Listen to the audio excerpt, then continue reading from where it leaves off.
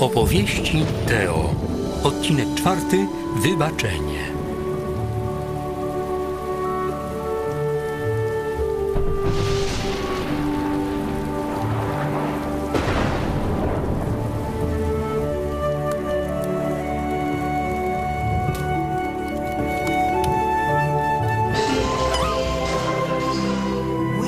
Gdzie on może być?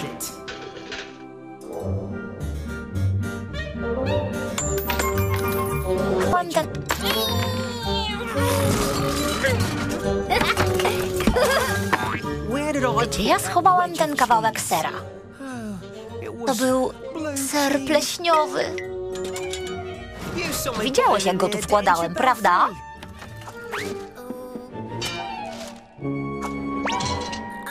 Nie wolno kłamać. Zjadłem go. Zjadłeś mój ser? Tak apetycznie wyglądał obok kawałka szarlotki, który odłożyłeś na deszcz. Też zjadłem? Zjadłeś mój ser i szar... A dziś pada. Ją też zjadłem? Zjadłeś mój ser i szarlotkę, którą trzymałem na deszczowy dzień? Byłem głodny. Przepraszam. On przeprasza. Zjadł mój ser i szarlotkę, a teraz przeprasza.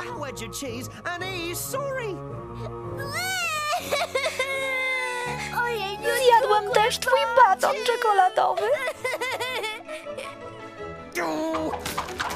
Tylko nie baton.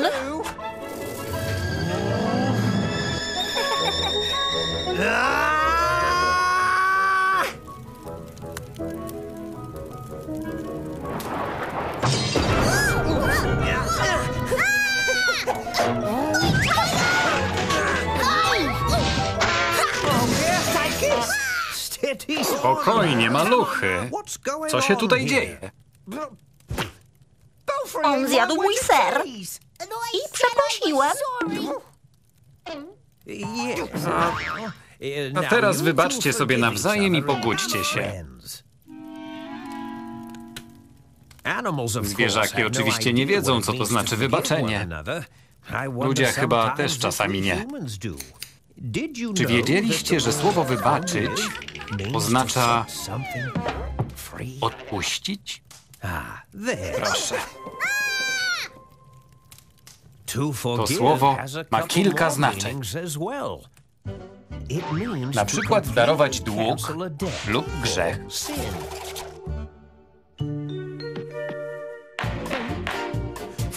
albo przywrócić kogoś do łask, mimo że zasłużył na karę.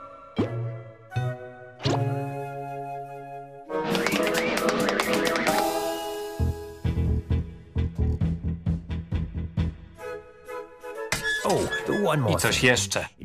Pan Jezus powiedział, że mamy wybaczać bliźnim 77 razy, czyli bez końca.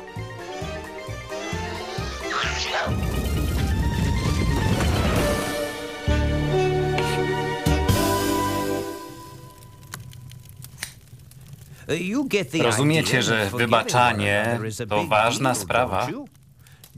Pan Jezus opowiedział przypowieść o człowieku, któremu wiele wybaczono. Za to on nie miał litości. Teatrzyk biblijny. Przypowieść o nielitościwym dłużniku.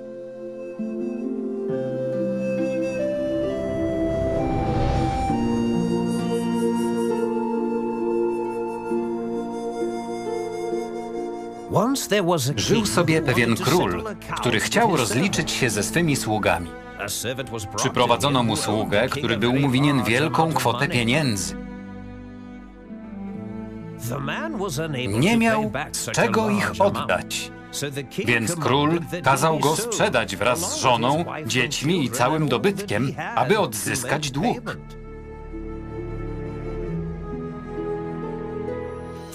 Sługa padł na kolana i błagał, by król okazał cierpliwość, a on odda wszystko, co jest winien.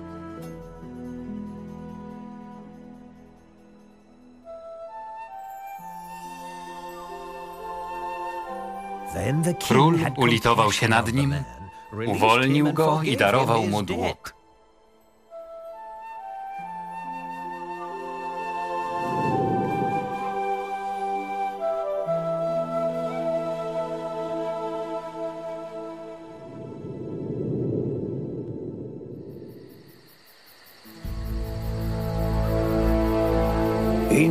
Zamiast być wdzięcznym za litość króla, sługa wrócił do domu i sprawdził, kto ma u niego dług.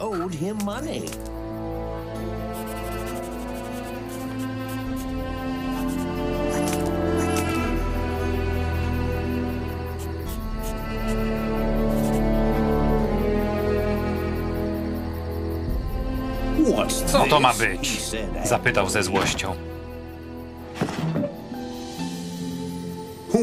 Zaraz to załatwimy.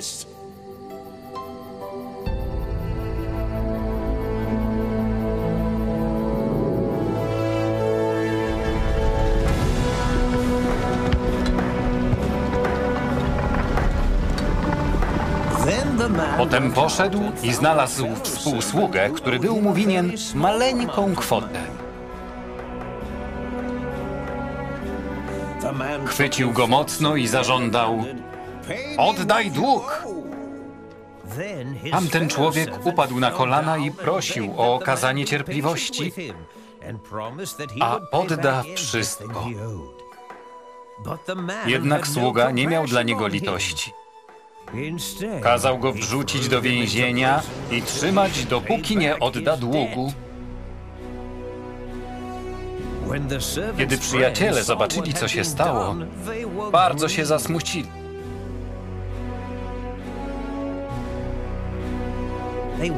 Opowiedzieli królowi o wszystkim. Król bardzo się rozgniewał i powiedział: Sługo niegodziwy, darowałem ci cały dług, bo prosiłeś. Czy nie powinieneś ulitować się nad swoim towarzyszem, jak ja nad tobą? Zabierzcie tego niegodziwca i trzymajcie go w więzieniu, dopóki nie odda wszystkiego, co mi jest winien.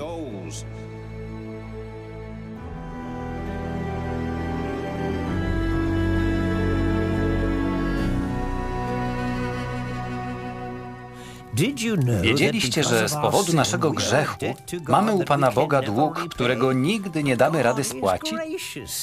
Lecz Bóg jest łaskawy. Dzięki poświęceniu Pana Jezusa na krzyżu Bóg wybacza wszystkim, którzy się do Niego zwrócą i wyznają swoje grzechy. Ślicznie. Ponieważ Pan Bóg wybaczył nam, my powinniśmy wybaczać tym, którzy zawinią wobec nas. Auć! Delikatnie. Wybaczysz mi? No pewnie. Jesteśmy przyjaciółmi. Nie wiem, dlaczego zjadłem twój ser, szarlotkę, baton czekoladowy i chrupki serowe. Nie mówiłeś nic o chrupkach serowych? Nie?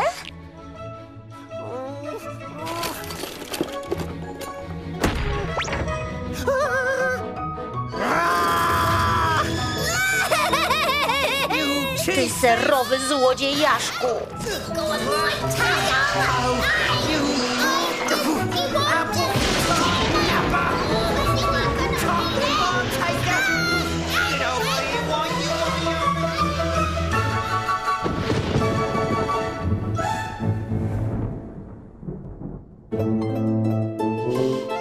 Podoba mi się, że Pan Jezus powiedział, powinniśmy wybaczać 77 razy. A tobie?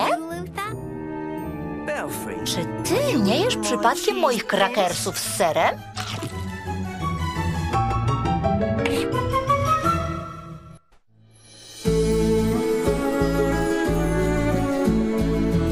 Opracowanie wersji polskiej Fundacja Lux Veritatis we Wrocławiu. Tłumaczenie Magda Halecka. Czytali Patrycja Łacina-Miarka i Radosław Kasiukiewicz.